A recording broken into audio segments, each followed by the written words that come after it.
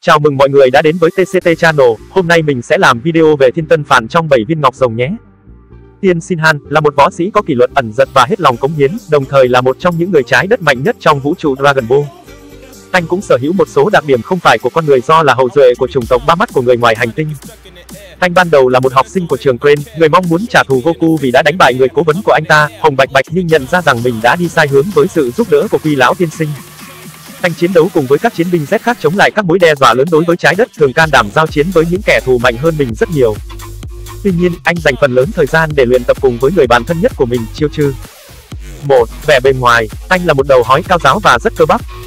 Trong những lần xuất hiện đầu tiên, anh có vóc dáng gầy hơn, dần dần trở nên đồ sộ hơn.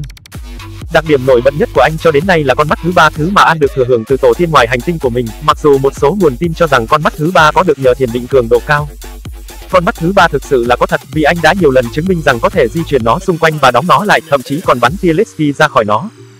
Bị cáo buộc, anh không phải bị hói bẩm sinh, như người cố vấn cũ của anh, Hạc lão tiên sinh, đã nói rằng anh cạo đầu giống như Krillin, mặc dù không giống như Krillin, anh chưa bao giờ được nhìn thấy không cạo râu. Một đặc điểm đáng chú ý khác của anh là vết sẹo lớn ở bên phải ngực, bắt đầu từ xương đòn và chạy dọc xuống bụng. Anh đã nhận được vết sẹo này tại giải đấu võ thuật thế giới lần thứ 23 trong trận chiến với người thầy cũ của mình, Mercenary Tao, người đã khiến anh mất cảnh giác với đòn tấn công Hidden Blade bất hợp pháp của mình, khiến anh bị sẹo suốt đời.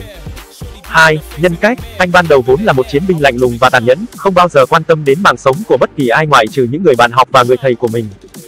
Có thể thấy rõ sự tàn bạo này khi anh bóp nát chân của Yamcha và một võ sĩ khác trong giải đấu võ thuật thế giới lần thứ 22. Tuy nhiên, anh tìm thấy một người bạn thân suốt đời ở Chiêu Chư, người mà anh vô cùng quan tâm và ngược lại. Anh rất thần tượng người thầy của mình là Hồng Bạch Bạch và mong muốn trở thành một sát thủ nổi tiếng như ôn ấy. Do ảnh hưởng của Quy lão tiên sinh và Goku, anh đã thay đổi phong thái và trở thành một trong những chiến binh được kính trọng nhất hành tinh. Trước khi chuyển sang phe tốt, anh đã lên kế hoạch giết nhân vật chính của bộ truyện trong giải đấu võ thuật thế giới để trả thù cho cái chết của sư thúc của mình dưới tay Goku.